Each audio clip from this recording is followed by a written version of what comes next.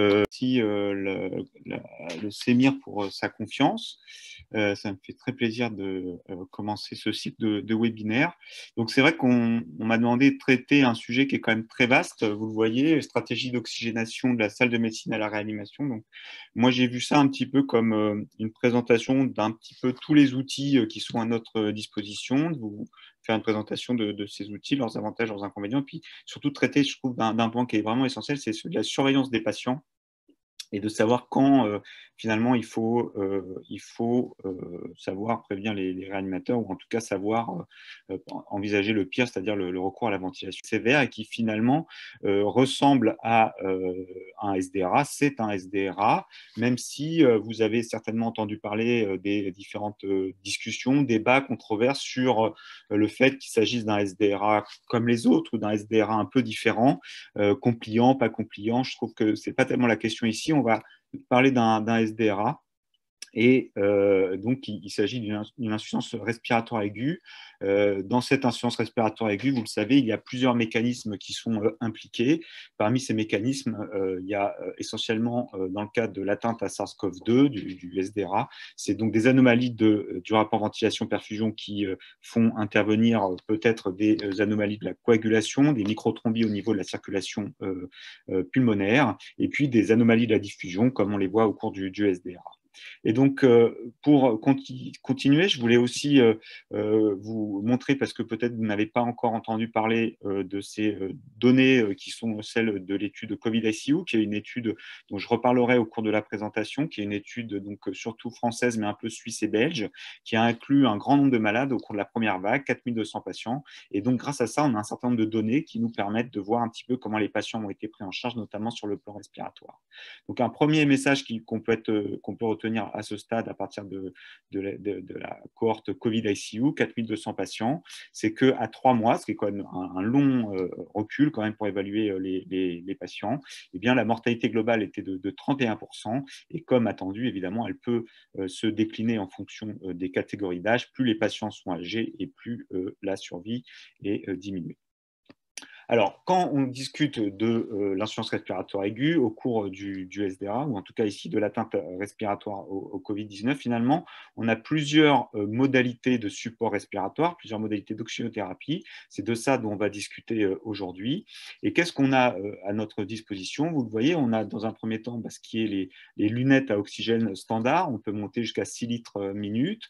On a un dispositif qui est peu utilisé en France, mais parfois dans certains services, c'est le masque Venturi, qui est un masque nasal sans réserve, mais sur lequel vous pouvez adapter donc des petits, euh, voyez, des petits euh, adaptateurs euh, de plein de couleurs qui correspondent finalement à une FiO2 donnée, ce qui a le grand avantage de pouvoir connaître précisément la FiO2 que vous administrez au patient, parce que lorsqu'on donne 6 litres par minute d'oxygène à un patient, en réalité, on ne sait pas très bien euh, quelle est la FiO2 du patient. Je vais y revenir tout à l'heure pour vous challenger un petit peu.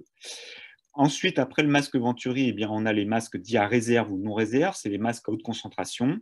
Et puis, on a l'oxygénothérapie modifiée au débit. Euh, c'est euh, quelque chose qui a franchement beaucoup modifié notre prise en charge. On va en parler un peu plus tard.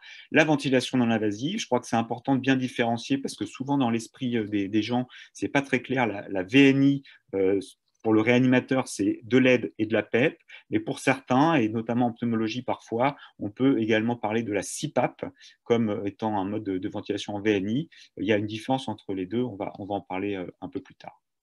Donc là aussi, je vais euh, revenir à, euh,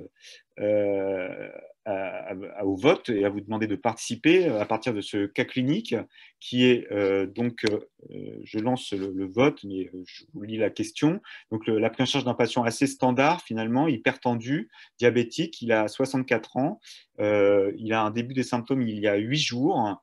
Il a donc une fréquence respiratoire à 26 par minute. Il a une saturation en air ambiant qui est de 85% et manifestement, il ne présente pas de, de signes de lutte et on vous demande de choisir les modalités d'oxygénation.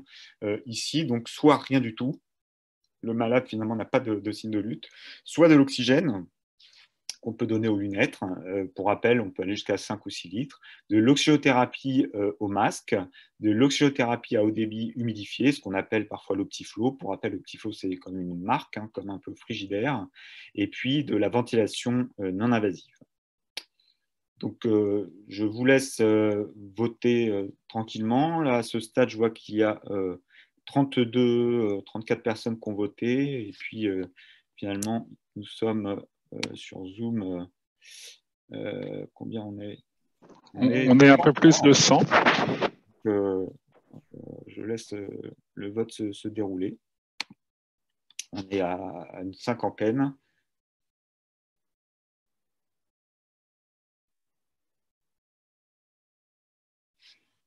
Donc, pour ceux qui nous rejoignent en cours de route, hein, si vous voulez voter, euh, il faut vous euh, connecter sur n'importe quel navigateur, sur votre téléphone ou votre ordinateur, à l'adresse suivante www.wooklap.com slash.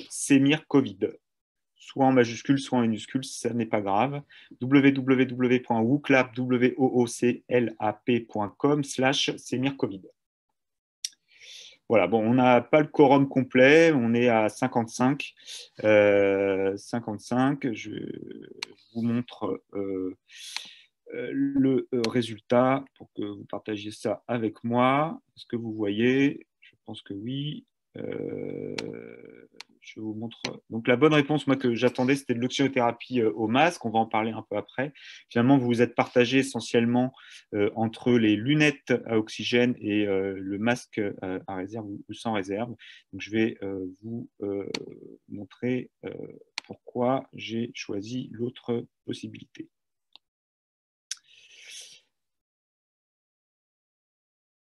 Est-ce que vous voyez la bonne fenêtre? Damien Impeccable, c'est impeccable.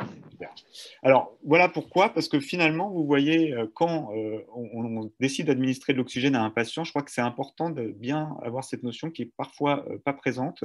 C'est que finalement, si on regarde la ventilation minute d'un patient, la ventilation minute, qu'est-ce que c'est? Eh bien, C'est le volume courant multiplié par la fréquence respiratoire. Eh bien, si on prend l'exemple de, notre patient, disons qu'il a un volume courant de 500 millilitres multiplié par 25 fois 25 de fréquence respiratoire, ça fait donc une, ventilation minute de 12,5 litres euh, minute. Si vous lui donnez euh, de l'oxygène aux lunettes, par exemple 6 litres, même au masque haute concentration, en fait, finalement, à 10 litres par minute, en fait, vous êtes en deçà de ce que le malade lui-même a comme débit, comme ventilation minute. Ça, ça signifie que si le malade est au-dessus de, du débit que vous administrez, eh bien, vous allez nécessairement diluer la quantité d'oxygène qui est pure, hein, que vous administrez par votre interface, avec de l'air qui est dans, la pièce, de, l'air qui est dans la chambre. Et donc, vous allez diluer et avoir une concentration d'oxygène qui va être en deçà de, ce que vous pensez. Et c'est pour cette raison, finalement, qu'il a, euh, y a eu un engouement très important pour l'utilisation de l'oxygénothérapie euh, à haut débit, qui permet d'atteindre des, débits euh, d'administration d'oxygène extrêmement élevés, au-delà de 30 jusqu'à 60, 70 litres minute. Et donc, cette air qui administre au malade est saturée en oxygène, vous pouvez régler la FiO2, et donc ça vous permet d'être au-dessus de la ventilation minute du patient et donc par cet euh, intermédiaire d'être certain que ce que vous allez apporter au malade est la FiO2 que, vous lui administrez. Donc là aussi, j'ai une autre question euh, pour vous euh, qui est celle-ci. donc là, il faut écrire sur votre interface, sur votre téléphone ou votre ordinateur, avec le masque à haute concentration à 10 litres par minute. Selon vous, la FiO2 estimée est 2 en pourcentage. Donc c'est à vous euh, de jouer.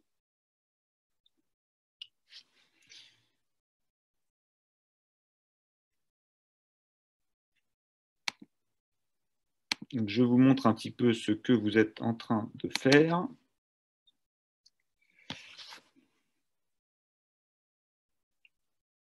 Donc, il y a beaucoup de choses. On est sur euh, du 50, 60, même du 80%. Hein.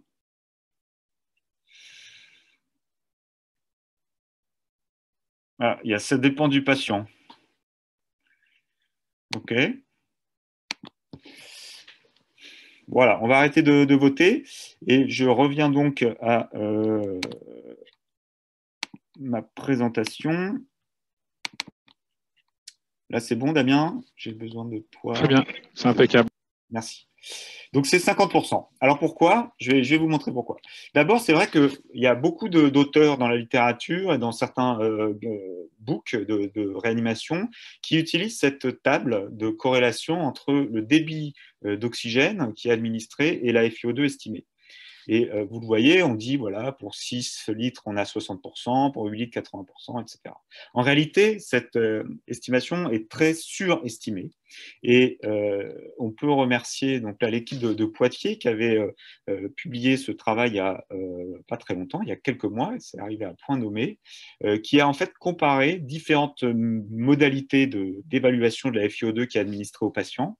Et vous le voyez, on a des patients chez qui on connaît précisément la FiO2 parce qu'on l'a mesuré au niveau du dispositif. Et puis, on a regardé euh, la façon dont on pouvait approcher cette FiO2 avec différentes formules qui sont donc euh, données euh, ici. Je vais vous, la décrire. Et puis, la table qui est celle qui est donnée ici, celle que je vous ai expliquée juste précédemment. Et donc, en fait, ce que les auteurs ont montré, c'est que la formule dite 3% est la formule qui approche le plus précisément euh, le vrai rapport P sur F et la vraie euh, FiO2. Alors, cette formule, elle est assez simple en réalité. La FiO2 que vous administrez au malade est donnée par 21 plus le débit multiplié par 3 pour 3%. Ça veut dire que notre patient de tout à l'heure, s'il avait 10 litres minute, c'était 10 litres fois 3 fois, c'est-à-dire 30, plus 21, soit 50%.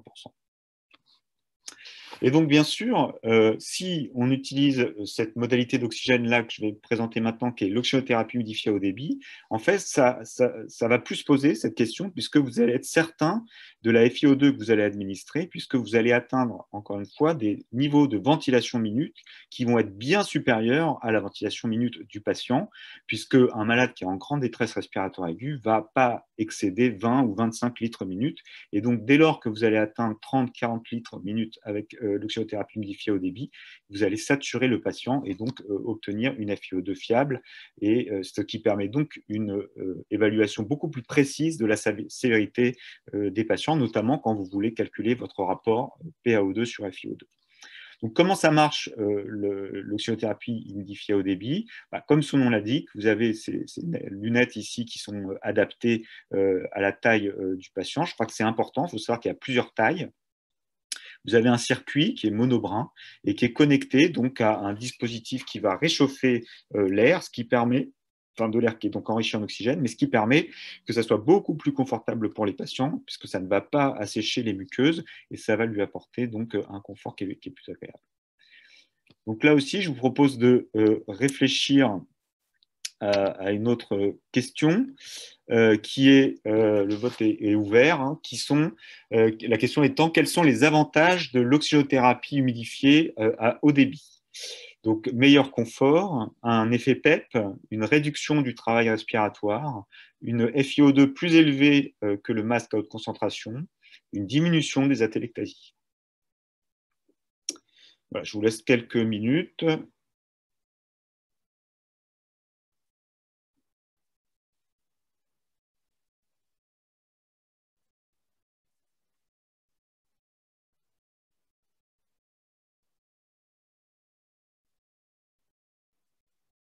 Bon, on est pas mal, là, on a, euh, une cinquantaine, soixantaine de votants. Euh, pour rappel, s'il y a des gens qui, nous rejoignent en cours de route, euh, pour participer avec nous au vote en ligne, il faut votre téléphone ou votre ordinateur. Vous allez dans votre navigateur et vous rentrez l'adresse suivante www.wooclap.com slash covid Et vous tombez normalement directement sur la question.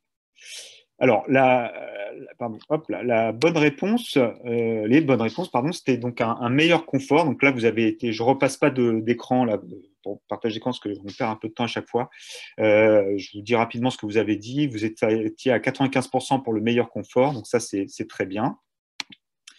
Euh, vous avez été donc le niveau PEP, il y a quand même beaucoup de gens qui en ont parlé. Alors c'est vrai que moi là j'ai été un peu euh, je vous ai mis un petit piège parce que 5, c'est peut-être un peu élevé. C'est vrai qu'on considère que l'oxygénothérapie humidifiée au débit, ça apporte un peu de PEP, mais 5, c'est peut-être un peu au-delà de ce que ça peut faire. Peut-être c'est plus de, l'ordre de 2 à 3.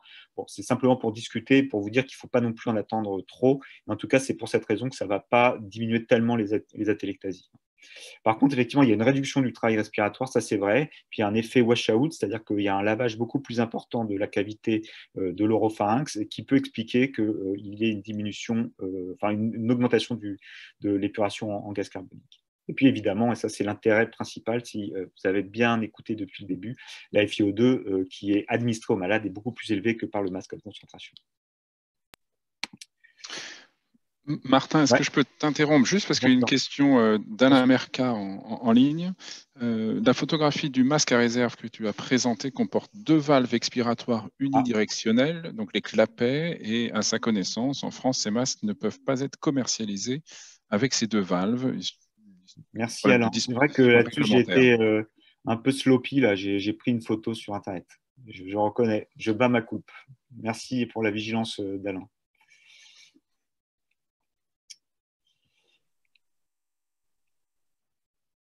Alors, donc là, maintenant qu'on a discuté l'oxygénothérapie unifiée au débit, je vous propose de discuter un peu de la, ventilation non invasive. Euh, donc, la ventilation non invasive, les avantages principaux, hein, c'est une réduction. Je ne repasse pas sur toute la littérature sur la VNI, hein, je vais vraiment droit au but parce qu'encore une fois, l'objectif aujourd'hui, c'est de faire une description large de tout ce qui est à notre disposition.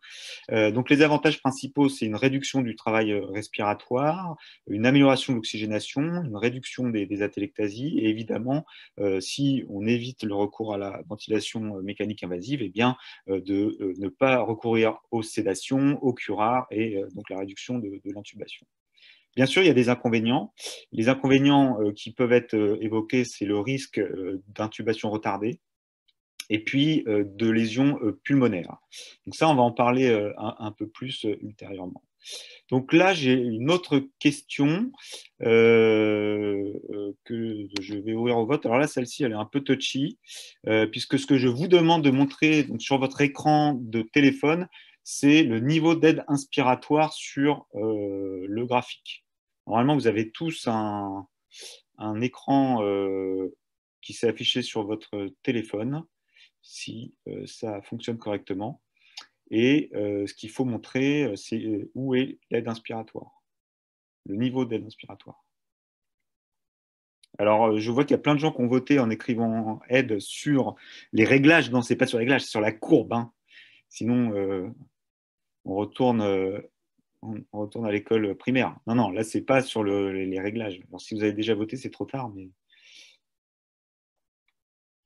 Donc là, comme je vois qu'il y a pas mal de réponses euh, un peu bizarres, je, vais repartager mon écran parce que je pense que c'est intéressant. Je ne m'attendais pas à ça.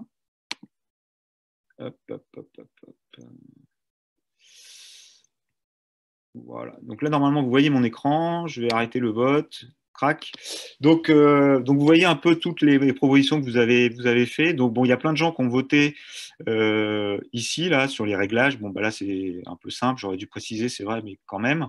Euh, donc, la bonne réponse, c'était ici, c'est le niveau supérieur, l'aide inspiratoire. Et donc, bah, je trouve qu'elle est pas si mauvaise, ma question, parce que d'abord, il y a plein de gens qui ont peut-être touché sans faire exprès. Ils ont validé, donc je ne sais pas pourquoi ils ont touché n'importe où. Mais ici, vous voyez, c'est flow, donc débit. Donc le débit, euh, ce n'est pas sur, au niveau du débit qu'on va aller rechercher le niveau de l'aide inspiratoire. L'aide inspiratoire, hein, c'est le niveau, on pourrait dire, d'insufflation maximale du, ventilateur. Euh, et donc, euh, vous voyez, bah là, typiquement, c'est la PEP, ce que je montre à l'écran. Et puis, ce qui était attendu, c'est le niveau supérieur, c'est ça, le niveau d'aide inspiratoire. Donc là, finalement, je vois qu'il y a plein de gens qui ont, touché un peu partout. Et bah, ce n'était pas la bonne réponse. Ouais. Martin, pour le, pour le défendre les gens, entre guillemets, c'est que sur le téléphone, c'est dur d'être si précis. donc je pense que tous ceux qui sont pas loin du sommet euh, avaient bien vu. D'accord. Mais tu m'accorderas que ceux qui sont sur le flot euh, se sont manifestement trompés. je te l'accorde bien volontiers. Très bien. Euh, ok, donc je retourne à la présentation. Je retourne à la présentation. Hop là. Alors, une autre question ici où je vais vous demander de participer. Donc là, cette fois-ci, euh, c'était de dire à propos de la courbe que je présente là sur l'écran, est-ce qu'on peut dire qu'il s'agit de VNI, d'aide PEP, de CPAP, d'APRV ou de BIPAP je vous laisse euh, quelques secondes Pour l'instant, le vote est assez tranché, je dois dire. J'en profite juste euh, très rapidement. Est-ce que tous ceux qui sont dans des salles et qui sont nombreux dans leur salle peuvent, euh, dans l'option converser euh, sur Zoom, préciser combien ils sont dans la salle pour avoir une idée du nombre de participants? Ce serait très intéressant pour nous. Merci à vous.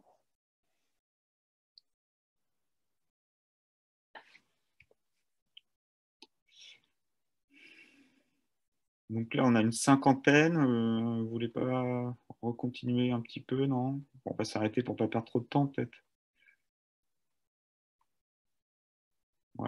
Encore Bon, la très grande majorité, voilà, j'ai arrêté le, vote. Bon, la très grande majorité des, gens a dit euh, CIPAP, c'est la bonne réponse. J'ai laissé VNI parce que, bon, c'est pas complètement faux, c'est de la ventilation non invasive, mais c'est vrai que si on est rigoureux, c'est un mode CIPAP. Bon, d'abord, c'est vrai que c'était écrit là-haut, euh, vous voyez, mais bon, on peut, sur ce ventilateur, en tout cas, qui est le, le dragueur, on peut mettre un peu d'aide inspiratoire en plus et ça ne va pas changer le nom euh, du, du, mode. Mais là, effectivement, on dit que c'est CIPAP. Pourquoi CIPAP CPAP, ça veut dire Continuous Pressure Airway et, positif, pardon, Continuous Positive Airway Pressure, ça veut dire que vous avez un seul niveau de pression et donc les petits creusements que vous voyez sont liés simplement au fait que le patient a sa ventilation spontanée, donc c'est les appels du patient. Et donc il y a un seul niveau de pression c'est la différence avec le, mode d'aide inspiratoire, où là, vous avez deux niveaux de pression, c'est ce qu'on a vu précédemment avec l'aide et la PEP, et c'est ça qui, habituellement, est plus appelé la VNI, et CPAP, c'est euh, quelque chose qui, pour les réanimateurs, en tout cas, est moins appelé de la VNI. Donc voilà à quoi ça ressemble de, la CIPAP. Vous voyez, c'est euh, là typiquement c'est le dispositif de Boussignac. Et euh, pour vous montrer une expérience, puisqu'on revient un petit peu au, Covid, une expérience euh, là qui est issue de notre service, en tout cas du service de pneumologie qui est donc à côté de notre service de réanimation à la Pitié-Salpêtrière. Et ils ont rapporté donc leur expérience au cours de la première vague du, Covid avec finalement deux périodes. Vous voyez une période 1 où les malades en pneumologie, c'était une pneumologie un peu aiguë, hein. on était sur des soins euh, de critiques quand même, qui avaient des, malades qui avaient de l'oxygène avec des hauts niveaux d'oxygène, et une période 2 où les patients avaient de l'oxygène plus de la CPAP. Les malades, en fait, étaient relativement similaires sur les deux périodes en termes d'âge, de sévérité, de comorbidité. Et ce que euh, nos, collègues pneumologues ont, rapporté, euh, vous le voyez, c'est une diminution du recours à l'intubation chez les patients qui avaient eu de l'oxygène plus de la CPAP. Donc il y a beaucoup de limites à ce type de travail parce que bien sûr, ce n'est pas un essai randomisé, c'est quelque chose qui est rétrospectif euh, avec euh, un appareillement qui n'est pas possible compte tenu des, effectifs qui sont pas importants. Vous le voyez, c'est 14 et, 38. Mais en tout cas, c'est intéressant, ça montre que, c'est possible et que c'est quelque chose qui peut avoir un bénéfice pour les patients, même si je crois qu'il faut être quand même très méfiant, en tout cas très précautionneux euh, pour l'instant. Donc, tout ça pour dire qu'il faut voir euh, la ventilation invasive. On peut mettre la CIPAP dedans parce que ça a été beaucoup utilisé, notamment par les, Italiens aussi, qui ont apporté pas mal euh, euh, d'expérience. Je vais en parler un peu plus tard dans le diaporama. la ventilation invasive, ce n'est pas une alternative à la ventilation mécanique, c'est quelque chose qu'on peut utiliser pour prévenir éventuellement lorsque finalement les patients ont une insuffisance respiratoire aiguë sans détresse, et avec un niveau de sévérité qui n'est pas trop élevé, euh, une hypoxémie qui est euh, modérée, évidemment pas d'état de choc et des malades qui ne sont pas dans le coma, pour faire simple. Et évidemment, il faut une réévaluation extrêmement fréquente euh, pour s'assurer que les patients ne se dégradent pas. Donc là, c'est une diapositive en fait que je montre habituellement dans des cours sur la VNI hors Covid, qui je pense est relativement vrai encore pour le Covid, avec la nuance près que les patients qui ont le, Covid et cette, ce, ce, SDRA sont des patients qui sont très souvent monodéfaillants. Donc effectivement, il y aura rarement ou très peu d'états de choc. Par contre, ils peuvent avoir des hypoxémies extrêmement profondes et beaucoup plus profondes que, ça, chez lesquelles on peut quand même envisager des niveaux d'oxygénation euh, avec euh, l'humidification, l'OHD, l'oxygénothérapie humidifiée à haut débit ou la, VNI, euh, même si les, niveaux d'oxygène sont, extrêmement bas, avec toutes les précautions dont il faut s'entourer, bien entendu. Alors justement, quelles précautions Et c'est pour ça que je vais maintenant vous faire réfléchir avec euh, cette, euh, cette question. Euh, à propos de ce qu'on appelle le PSILI, le Patient Self-Induced Lung Injury, diriez-vous que cette chose, ce concept, je ne sais pas comment on peut l'appeler, ça traduit le risque d'être intubé à retardement, ça traduit le risque de générer des volumes courants trop élevés, ça n'existe pas, ça traduit le risque d'aggraver les lésions pulmonaires préexistantes, et est-ce que ça se voit à la radiographie de thorax?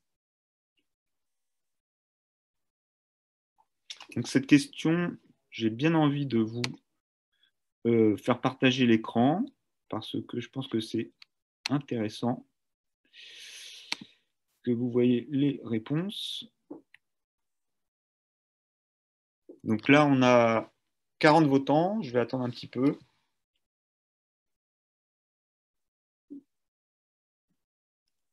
Damien, on est toujours sur 100, participants, c'est ça à peu près? Euh, Tout à fait. D'accord. Donc euh, voilà, encore une fois, s'il y a des gens qui nous rejoignent en cours de route, vous voyez tout en haut, il y a l'adresse sur votre navigateur à rentrer si vous voulez participer euh, au vote. Hein, c'est écrit tout en haut là, www.wooplat.com slash covid Et là, on a le nombre de votants, 53, donc c'est-à-dire qu'il y a la, moitié des gens qui ne votent pas parce que peut-être ils n'ont pas envie. On, a dépassé les, 130 participants là en pratique. Qu'est-ce que je fais, Damien? J'attends un peu ou je... Non, je crois qu'il faut avancer. Peut-être qu'il y a des gens qui n'ont pas le réseau euh, de temps en temps dans les salles de SAF, etc. Ok, donc je vous montre les, les résultats. Donc vous, avez vu, euh, finalement, bon, les deux bonnes réponses euh, sont quand même cochées par la plupart des gens, 67%, 84%. Donc, c'est effectivement, ça, ça traduit le risque de générer des VT euh, trop élevés, ça traduit le risque d'aggraver les lésions pulmonaires euh, préexistantes, c'est vrai. Euh, ça n'existe pas, alors ça ferait un grand plaisir à Laurent Brochard, hein, zéro personne, très bien. Ça n'a pas été prouvé encore le psy, hein, comme je vais vous dire ça plus tard, mais vous êtes super convaincus. ça traduit le risque d'être intubé à retardement, donc il y a quelques personnes qui, l'ont évoqué, et puis ça se voit à la radiographie de thorax. Ok, je vais revenir sur la, présentation. Euh, ok, alors euh, c'est là où je fais intervenir mon ami et collègue euh, Guillaume Carteau, qui je crois va animer un des prochains webinars. Donc Guillaume a, écrit avec ses collègues une revue qui est extrêmement bien faite en français, si vous voulez, qui est en accès sur donc, la revue Médecine Intensive Réanimation. Euh, tout ce que le réanimateur doit connaître du PSILI, justement, et donc je vous encourage vraiment à, le lire.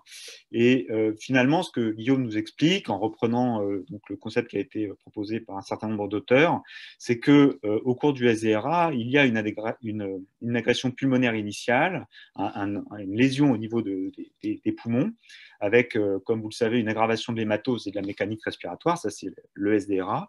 Et le concept du psylite, c'est de, dire que finalement toutes ces anomalies sont euh, à l'origine d'une augmentation de la commande respiratoire, comme en témoigne l'augmentation de la fréquence respiratoire ou éventuellement une augmentation des volumes courants, et que ça, ça peut expliquer euh, bah, des grands mouvements respiratoires susceptibles d'aggraver finalement les, lésions qui sont déjà existantes. Et donc finalement, ce plaidoyer, eh bien, ça suggère que dans certaines situations, la ventilation spontanée, ça n'est pas bon au cours du SDRA parce que ça risque d'aggraver les choses, puisque le patient peut-être ne fera pas 6 à 8 ml kg de, volume courant, il risque de s'infliger à lui-même des lésions, et pour cette raison, pour euh, les gens qui, croient au, au eh bien, euh, c'est un plaidoyer pour intuber les malades précocement et euh, finalement protéger, faire de la ventilation pulmonaire protectrice. Alors, si on essaie d'expliquer un peu ça, vous avez euh, ici, vous voyez, euh, la ventilation d'un patient euh, normal avec une pression alvéolaire, vous voyez, qui est à zéro. Il est en ventilation spontanée, donc il, a zéro de, pression alvéolaire. Et quand il va générer un effort inspiratoire, il va diminuer un petit peu la pression intrathoracique, la pression pleurale à moins 8. Et donc, si on regarde la pression qu'on appelle transpulmonaire, c'est-à-dire la pression de distensibilité des alvéoles, eh bien, c'est zéro moins moins 8 ici, donc c'est 8 cm d'os qui est une pression transpulmonaire, une pression de distensibilité de l'alvéole qui est tout à fait acceptable. Quand on est en ventilation contrôlée, complètement contrôlée, c'est-à-dire le malade est curarisé, il n'a aucun effort inspiratoire, donc sa pression pleurale est zéro ou discrètement positive. Si vous appliquez une pression positive dans euh, le, thorax de votre patient, dans les alvéoles de votre patient, eh bien vous allez avoir une pression transpulmonaire qui va être ici de 9-1, donc 8 également, et donc ça, ça explique que vous êtes toujours dans une ventilation qui peut être considérée comme protectrice. En revanche, si vous êtes dans une situation de grande détresse respiratoire, votre pression transpulmonaire, en fait, euh, va être beaucoup plus élevée. Pourquoi? Parce que vous allez ajouter la pression positive que vous allez exercer avec la VNI, par exemple, euh, et euh, vous allez ajouter également la pression du patient, qui est générée par le patient. Et vous allez voir ici une pression transpulmonaire de 25 cm d'eau, donc une pression de distensibilité de l'alvéole beaucoup plus élevée et qui peut expliquer qu'on aggrave d'autant plus euh, les lésions.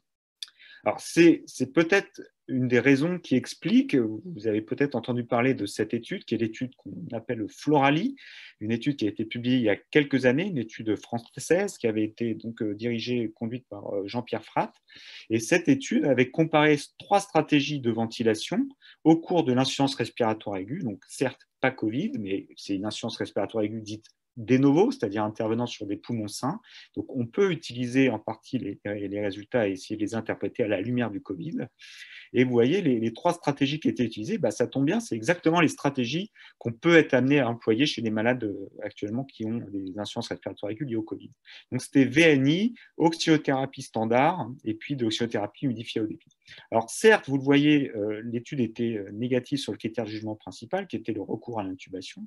Mais en fait, quand on regardait chez les patients les plus sévères, qui a notamment, euh, qui, cette sévérité était traduite par un score de, un, rapport de PO2 sur FiO2 euh, inférieur à 200, eh bien, unifiée au débit permettait euh, de réduire le recours à l'intubation.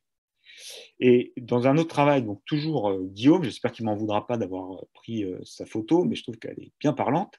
Guillaume a montré que finalement, les, patients qui reçoivent de la ventilation non invasive au cours de l'insuffisance respiratoire aiguë, là aussi des nouveaux, eh bien, les, patients qui vont euh, être jugés comme ayant euh, un échec de VNI, vous voyez, euh, NIV failure, sont les patients qui vont développer un volume courant plus élevé que les patients qui ne vont pas développer de volume courant élevé. Le cutoff ici étant de 9,5 ml kg de poids idéal théorique. Et c'est assez intéressant car dans l'étude Florali, dans une étude ancillaire qui a été réalisée par Jean-Pierre Fratt et ses collègues, ils ont retrouvé un cutoff qui était relativement similaire, euh, de 9 ml de poids idéal théorique de, volume courant, euh, au-deçà duquel euh, les patients étaient associés à un échec de, VNI. Donc voilà pourquoi je, trouve c'est intéressant de savoir qu'on a ces modalités d'utilisation de, de, support respiratoire à notre disposition, euh, oxygénothérapie standard, VNI ou oxygénothérapie unifiée au débit, il faut savoir que le risque de maintenir les malades en ventilation spontanée, ça peut être que ces malades développent des lésions supplémentaires par rapport à l'agression initiale, même si, encore une fois, c'est ce que je vous montre ici, des données qui sont des données rétrospectives et des, données qui ne sont pas encore parfaitement prouvées. Et en tout cas, en ce qui concerne le Covid, euh, eh bien, on est pour l'instant un peu en panne, on n'a pas de, données particulièrement spécifiques sur, sur cette question. Donc pour ça, euh, oui, une question? Oui, Marc. Oui, écoute, il y, a deux questions, mais avant que tu changes de sujet, ça me semble assez intéressant. La première, euh, qui, enfin, qui se focalise vraiment sur ce que tu viens de dire, vient d'Alain de, Merca ou du groupe de, euh, danger. Et donc, les patients présentant une hypoxémie heureuse, ou je crois que les Italiens avaient appelé ça silencieuse aussi, c'est-à-dire sans signe clinique suggérant des efforts inspiratoires intenses, sont-ils, euh, selon toi, moins à risque de psyllie et donc maintenus en VS sans grand risque malgré une hypoxémie profonde? Ça, c'est la première question.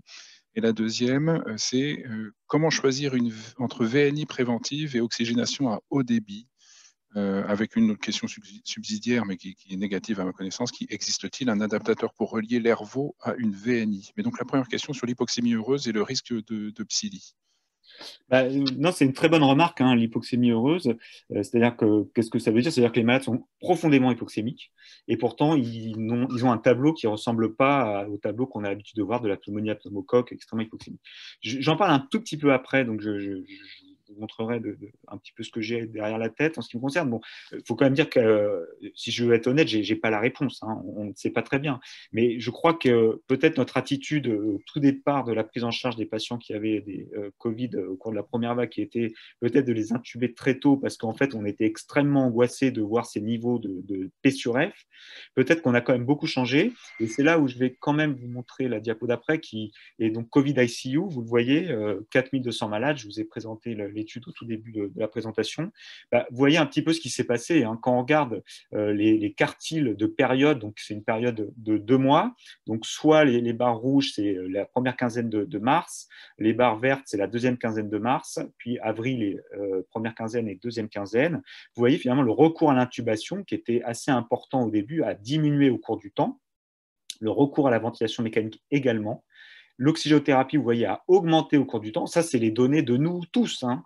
Euh, a, un peu diminué, la VNI a augmenté, et vous voyez, la mortalité a baissé. Donc, il n'y a pas de causalité ici. Ça ne veut pas dire que si vous intubez moins les malades, les malades meurent moins, parce que là, c'est des données qui ne sont pas appariées. Mais en tout cas, ça témoigne qu'on a peut-être appris et que ce qu'on n'osait pas faire avant, qui était bah, effectivement euh, d'intuber les malades devant cette hypoxémie heureuse et, de se dire qu'on risquait d'avoir du psylli, et que, ou si on risquait pas du psylli, peut-être de risquer des intubations catastrophiques, on, a changé en tout cas d'attitude. Et manifestement, les données parlent par elles-mêmes. On intube les malades euh, un peu plus, euh, enfin un peu moins, et on, a recours euh, davantage aux modalités euh, non invasives. Donc ma réponse, pour être honnête, c'est je ne sais pas, mais vraisemblablement, on, a tous un peu adapté cette euh, attitude qui est d'accepter davantage cette hypoxémie heureuse. La deuxième question, c'est... C'était comment choisir entre VNI préventive et oxygénation à haut débit? J'en parle un peu après. Bon, je n'ai pas la réponse, pour être honnête. J'en parle un tout petit peu après, si vous voulez bien. Parfait. Euh, alors voilà, oui, bah en fait, voilà, j'en parle ici, donc ça tombe bien. Donc vous voyez, ça c'est euh, une expérience des, Italiens avec euh, Stefano Naval, son, groupe, qui a donc analysé les résultats d'une cohorte assez importante hein, de, patients, 670 patients, qui ont reçu de la CIPAP, donc de la VNI avec un seul niveau de pression, de l'oxyothérapie humidifiée à haut débit, et puis de la VNI. D'accord? Donc là, c'est deux niveaux de euh, pression. Et euh, vous voyez donc les, résultats. Donc c'est vrai que j'aurais pu vous montrer les, pourcentages, mais globalement on est sur des on est sur des choses qui, montrent que c'est pas catastrophique. D'accord? En tout cas, c'est l'expérience des, des, Italiens. Eux, ce qu'ils disent, c'est que pour les patients qui ont eu ces modalités, euh, d'assistance donc non invasive. Ils se sont jamais mis dans des, situations, notamment pour les, ici les 82 patients qui sont intubés, les 47 patients ici qui sont intubés, les 49 patients qui sont intubés. Donc là, il y en a un peu plus, mais parce que l'effectif est, deux fois plus important. Donc finalement, la proportion reste la même. Ils se sont jamais retrouvés dans des situations d'intubation catastrophique et notamment d'arrêt respiratoire ou cardiaque. Donc euh, ça, c'est un, premier élément de réponse. Et justement, euh, bah, pour, euh, pour, voir un petit peu ce qu'on fait nous maintenant, je vous propose de, réfléchir euh, à, cette question avec, encore une fois, l'intermédiaire du, vote.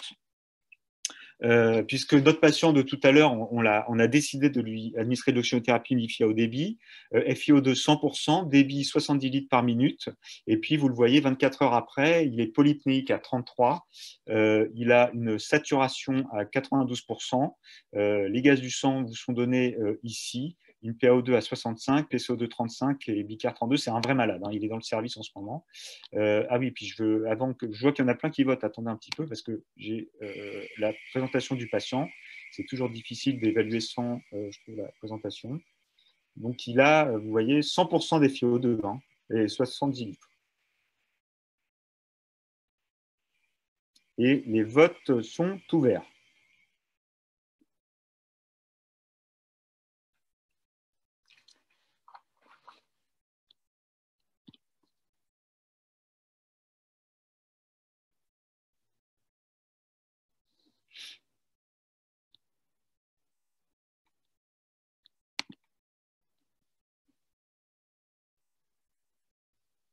Bon, je, vous dis tout de suite, on va, on va pas être d'accord forcément, hein, parce que euh, on a tous des attitudes euh, euh, différentes, je pense, hein, sur une situation comme celle-ci. donc j'attends un petit peu là, de voir le nombre de, de votants. Pour l'instant, on, a, on a 54 votants.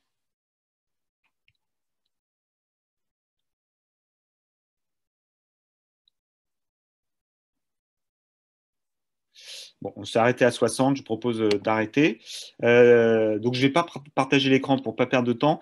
Globalement, vous êtes 50% des votants à dire il faut intuber le patient. il y a 4 personnes, donc 7% qui a dit il ne faut pas intuber le patient. Évaluation de la dyspnée chez un quart.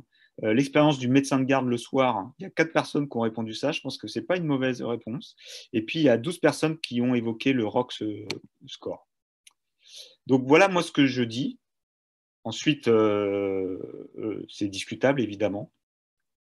En pratique, ce malade, donc, il est arrivé dans le service dimanche, il est toujours sous Optiflow euh, en 100%, 70 litres. Il a toujours la même présentation et on ne l'a pas intubé pour l'instant. Bon, je ne dis pas qu'on a bien fait. Hein. Euh, je ne dis pas qu'on a bien fait. Et on a un autre exemple, j'ai un autre patient qu'on a eu il y a deux semaines qui était à peu près comme lui et qui finalement on a intubé à J10 et qui est sous ECMO maintenant. Donc, euh, je veux dire, je dis ça pour vraiment, je ne veux pas donner de message qui soit trop fort. Euh, je reste très humble. Je, ne sais pas ce qu'il faut faire. Notre attitude à nous, en tout cas pour l'instant, c'est d'être le plus, euh, on va dire, on va dire, euh, conservateur possible, c'est-à-dire on évite euh, d'intuber les patients. Et c'est vrai qu'on évalue beaucoup la dyspnée et la saturation. Et euh, la plupart des situations où on a vraiment intubé les malades, c'est les malades qui nous disaient, ils, présentaient vraiment une dyspnée très importante, et ce qui n'est pas le cas de, notre patient. Alors, le ROC score, comme je l'ai évoqué, mais je pense que Jean-Damien Ricard, qui animera un webinaire prochainement, en parlera également. Je vais vraiment l'évoquer très, très, très brièvement pour vous dire que c'est un indice qui, euh, a été proposé par l'équipe de, Colombe, euh, où travaille euh, Damien Roux, qui est donc ce, rapport ici, la SPO2 divisé par la FiO2, dont l'importance de bien connaître la FiO2, mais là c'est une étude qui a été réalisée chez des malades qui reçoivent de l'oxygénothérapie modifiée au débit, donc la FiO2 est, est connue par définition. Et donc, on fait un premier rapport SPO2 sur FiO2 qu'on divise par la fréquence respiratoire. Ça donne le ROX score. Et vous voyez, ça permet de discriminer les malades qui euh, vont être intubés ou pas. Euh, vous pouvez avoir ce euh, calcul automatiquement sur votre téléphone par l'intermédiaire d'une app que vous pouvez télécharger qui est gratuite. J'ai quand même précisé que ce n'est pas approuvé Covid, hein, puisque pour l'instant, le ROX score a été développé dans une cohorte de patients qui avaient une insuffisance respiratoire aiguë des novo, mais c'était avant le Covid, donc on ne sait pas encore si ça s'adapte au Covid. Euh, pour revenir euh, à, l'expérience des, gens, et ici encore une fois une expérience italienne, euh, je trouve assez pragmatique. Vous voyez, ils font des tentatives, ce qu'ils appellent des trials, et là, ils font un trial d'oxygène, et finalement, ils regardent l'oxygène, la SAO2 des, patients. Si la SAO2 est inférieure à 92%, eh bien, ils passent à l'oxygénothérapie modifiée au débit, et en fonction de la, fréquence respiratoire, de la dyspnée et de la SAO2, si c'est une SAO2 supérieure à 92%, finalement, ils maintiennent euh, le trial d'oxynothérapie modifiée au débit. Et si euh, le patient reste euh, dyspnéique avec une saturation qui diminue, il passe à un trial de, de puis, si persistance des signes, il décide de l'intubation. Je trouve que c'est quelque chose qui est pragmatique, qui est intéressant et qui peut nous permettre de, qu'on peut utiliser dans, tous les jours. La difficulté, c'est que bon, la VNI, encore une fois, si le malade ne contrôle pas ses volumes courants, et encore une fois, vous pouvez le regarder sur les écrans de vos ventilateurs. Hein. Vous pouvez tout à fait regarder les VTE des patients, les volumes courants expirés, et éventuellement considérer que le patient ne fait pas de la ventilation euh, pulmonaire protectrice et dans ces conditions, considérer que vous, vous êtes à risque de psyllie et donc décider d'intuber le malade. Mais ça, c'est votre responsabilité. Moi, je ne euh, sais pas encore ce qu'il faut faire au Covid. Donc sur les modalités de la surveillance, je pense que c'est très important de surveiller bien nos patients parce que, euh, on l'a dit, ils ont cette hypoxémie heureuse et euh, donc ça peut être souvent catastrophique de ne pas se rendre compte qu'ils s'aggravent. Donc la fréquence respiratoire, c'est quand même compliqué. Vous voyez ici, succès-échec, bah, les malades ne sont pas très différents. La fréquence cardiaque, c'est pareil. La SAO2, c'est discutable. Ce qui avait l'air fiable ici, en tout cas dans le travail des Italiens, c'était le rapport PAO2 sur FiO2. Donc manifestement, on est à 76 ici de P sur F. Les malades ont eu un échec et c'est des malades qui ont fini d'être euh, par être intubés. Bon, je passe rapidement sur le DV euh, Vigile, qui est une possibilité, que ce soit en oxyothérapie humidifiée au débit ou en, VNI ou en CPAP. Euh, voilà, c'est des, données qui datent du JAMA, pas beaucoup de malades, mais en tout cas qui montrent que ça peut être intéressant. Bon, après, il faut aussi envisager quand même le pire, même si ça va faire l'objet d'un webinaire plus tard, c'est euh, la ventilation mécanique invasive. Je ne vais pas en parler longtemps, simplement dire que, euh, bon, bah, évidemment, faut, en tant qu'interne responsable ou jeune chef, eh ben, il faut que notre patient soit prêt à être intubé. C'est-à-dire qu'il faut qu'il ait des voies veineuses de bon calibre, qu'il soit euh, prêt à pouvoir être induit pour une intubation. il faut penser à la préoxygénation. Et ça, c'est une étude que je vous montre ici de l'équipe de Samir Jaber, qui n'est pas Covid, hein, mais qui, je pense, est intéressant et qui montrait qu'on peut tout à fait combiner oxygénothérapie modifiée au débit plus VNI en préoxygénation, vous voyez que ça permet de diminuer la désaturation, puisque les patients dans le groupe combiné, c'est-à-dire oxygénothérapie modifiée au débit et VNI, c'est la barre bleue, et donc ils ont une saturation qui reste à 100% pendant l'intubation, alors que ceux qui n'ont euh, que euh, la VNI et que vous enlevez euh, pour intuber le malade, eh bien, ils désaturent. Bon, donc voilà, c'est intéressant et je pense qu'il ne faut pas, évidemment, ne pas le faire, ça peut être intéressant. J'ai pas de diapo, mais je pense que c'est important de le dire. Il y a eu beaucoup de craintes au départ du risque d'aérosolisation euh, du Covid. Et donc, c'est une raison pour laquelle parfois les gens avaient des craintes et ne voulaient pas utiliser ces dispositifs. Pour l'instant, on va dire que c'est quand même plutôt rassurant et on n'a pas eu de euh, cluster lié à l'utilisation de VNI ou d'oxygénothérapie modifiée au début.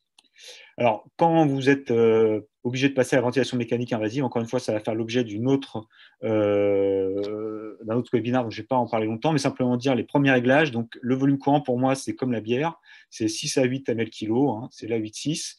Euh, c'est important ce 6-8 parce que tout le monde est souvent très focalisé sur le 6. Il ne faut pas oublier que la pression de plateau qu'on cherche à régler, c'est une pression limite, c'est pas un objectif. Hein. C'est comme la, euh, la, vitesse sur l'autoroute. Euh, on n'a pas demandé aux gens de rouler à 130, on leur demande de ne pas dépasser 130. C'est un peu pareil pour la pression de plateau. On vous a jamais demandé de vous mettre à 28, mais plutôt de ne pas dépasser 28.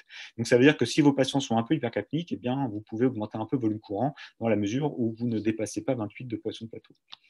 La titration de la PEP, bon, c'est très compliqué, je n'ai vraiment pas le temps, euh, j'ai pas le, trop le temps de, l'évoquer. Moi, je, enfin, notre, notre expérience, c'est notre cohorte de, patients qu'on a publié. En fait, on s'est rendu compte qu'en baissant un peu la PEP, euh, finalement, on faisait pas si pire et on avait pas mal réduit euh, l'impact hémodynamique, qui est, qui est loin d'être négligeable quand même, notamment, vous le voyez ici sur ce, cette publication, euh, qui était le recours à la dialyse, l'insurance rénale aiguë. Donc, bon, c'est pas un lien de causalité direct puisque c'est une cohorte avant-après, mais en tout cas, en ce qui nous concerne, on limite quand même un peu la PEP à, 10-12 et, rarement davantage. L'ECMO, ça fera l'objet d'un webinaire également, c'est Mathieu Schmitt qui en parlera. Euh, voilà, je ne sais pas si vous avez vu passer ce papier, c'est une publication donc avec 80 malades Covid ECMO. Euh, voilà, la, mortalité, ou la survie, ça dépend comment on voit les choses. Vous voyez, à, 3, mois, c'est 60%, ce qui n'est est pas négligeable, c'est très bien, même si évidemment on est sur des malades qui sont extrêmement sélectionnés puisqu'ils ont 49 ans euh, de médiane. Voilà, je vais terminer. Euh, je vais ouvrir un vote euh, euh, voilà, pour avoir un peu une évaluation de tout le monde. Et en même temps, je vous dis qu'il il y a les recommandations de la SRLF qui sont extrêmement bien faites, qui viennent d'être actualisées le 7 novembre dernier. Je vous encourage tous à aller les, les lire, les télécharger sur le site de la SRLF. Sur le site de la SRLF également, euh, eh bien, vous avez euh, tout un tas d'informations Covid et des euh, petits webinaires, des petits cours en ligne qui sont extrêmement intéressants. Et bah, j'ai mis un, voilà, un vote en cours, donc n'hésitez pas à voter. C'est de 1 à 5, ça nous permet de nous dire comment vous avez trouvé le cours. et je vais partager mon écran pour que vous voyez avec moi les résultats de cette de ce questionnaire. Merci, beaucoup, Martin.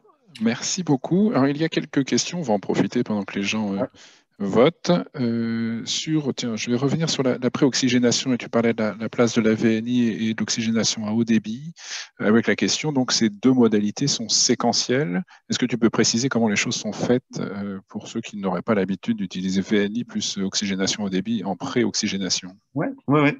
Alors c'est pas séquentiel, en fait on utilise les deux en même temps en préoxygénation, ce qui permet, c'est-à-dire que le malade a son oxygénothérapie modifiée au débit, c'est deux lunettes, on lui peut lui mettre le masque en plus.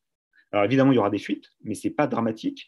Euh, il suffit de régler une FiO2 à 100% sur le, ventilateur et, euh, et puis des réglages pas trop élevés. On ne veut pas faire de la BNI au malade, on veut surtout saturer beaucoup l'air qu'il administre aux patients et puis euh, avoir un peu de, pression positive de façon à recruter le plus possible les poumons du patient.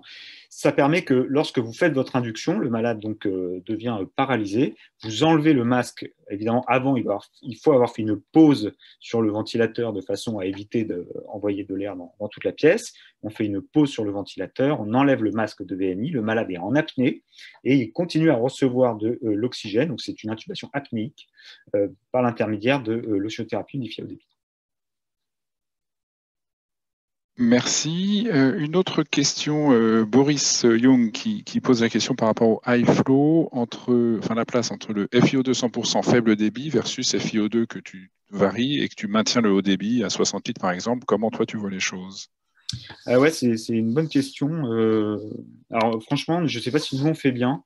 nous, on a l'habitude de, saturer l'air qui est administré, c'est-à-dire on met une FiO2 facilement à 100% au début, avec un débit pas trop élevé pour que ça soit tolérant pour le, patient, pour que le malade tolère, au-dessus de sa ventilation minute qu'on estime. Donc on commence avec des niveaux à 40 litres, et puis ensuite on va adapter en fonction de la tolérance du patient.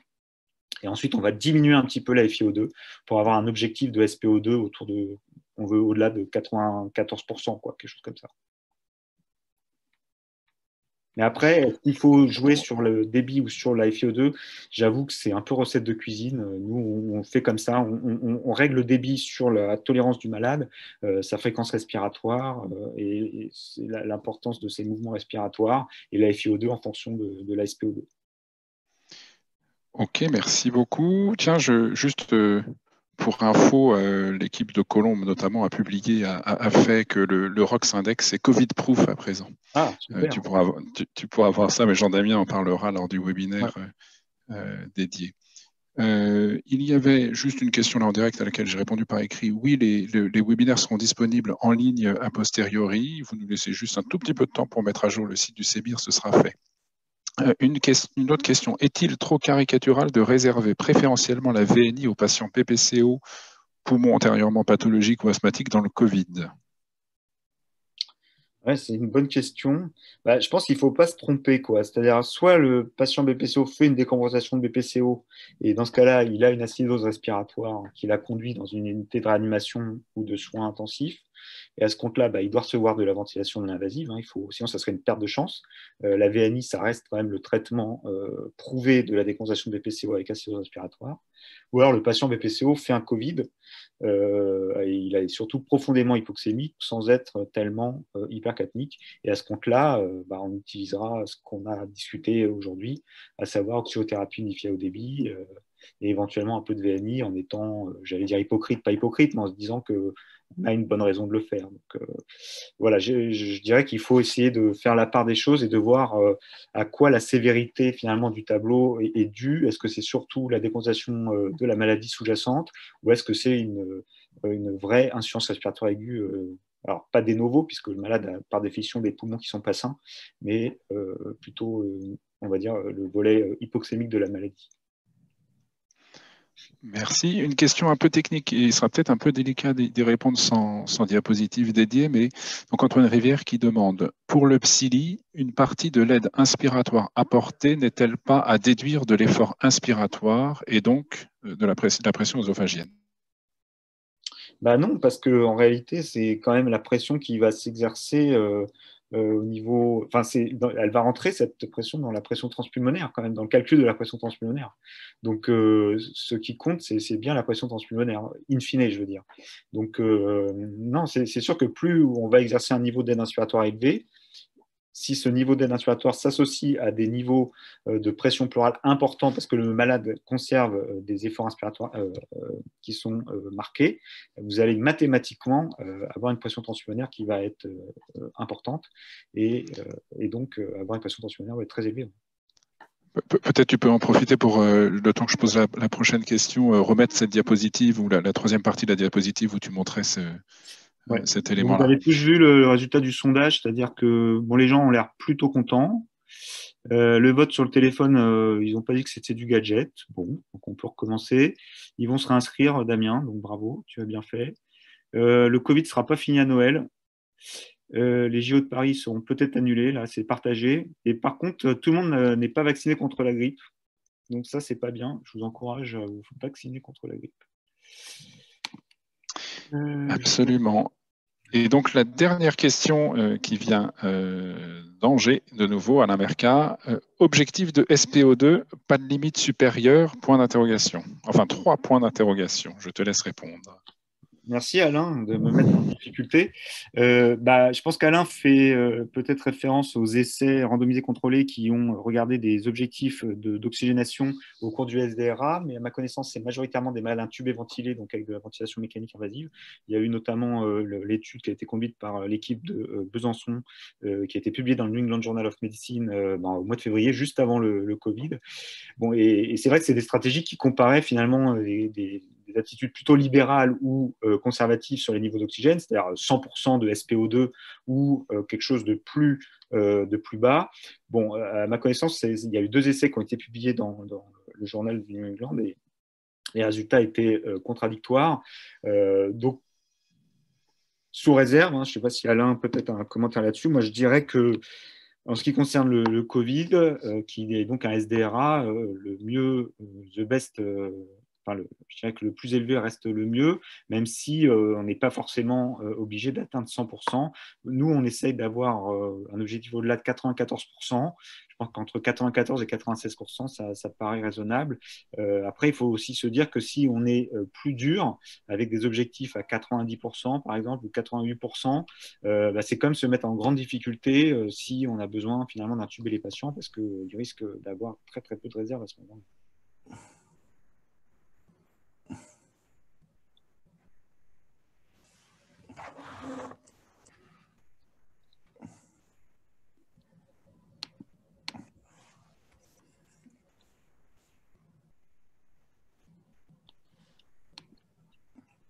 OK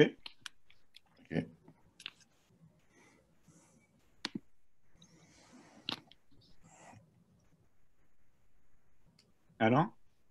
Oui, tu, vous m'entendez? Oui, on vous entend. Oui, non, mais merci d'abord. D'abord, je voudrais te remercier. C'était très bien et je pense très informatif. Non, sur la, question sur la SPO2, mon, le, sujet pour moi est que quand on a une SPO2 à 100%, euh, on peut avoir une PO2 comprise entre 65 et 600.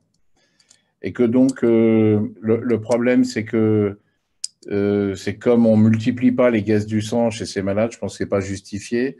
moi, je dirais que 99% de saturation comme limite sup, c'est bien pour éviter d'avoir des malades qu'on a mis à 250 de PO2 et on ne sait pas parce qu'on ne contrôle pas les gaz et que ce n'est pas inutile. Voilà, c'est tout de mettre une limite sup à 99. Non, c'est vrai, c'est vrai, c'est d'autant plus vrai, euh, Alain, que en fait, euh, tout le monde là commence à mettre de l'oxygénothérapie modifiée à haut débit à, ses patients. Déjà, il y a d'un point de vue juste euh, d'épargne de l'oxygène, ça paraît pas fou de se dire qu'on peut aussi se réfréner et pas forcément donner à un malade 80% si 50 ça marche quoi. Mmh. Ok, merci. Et donc, on, va, merci beaucoup. Euh, on va terminer avec la dernière question avant les, remerciements qui vient donc de, Boris Young.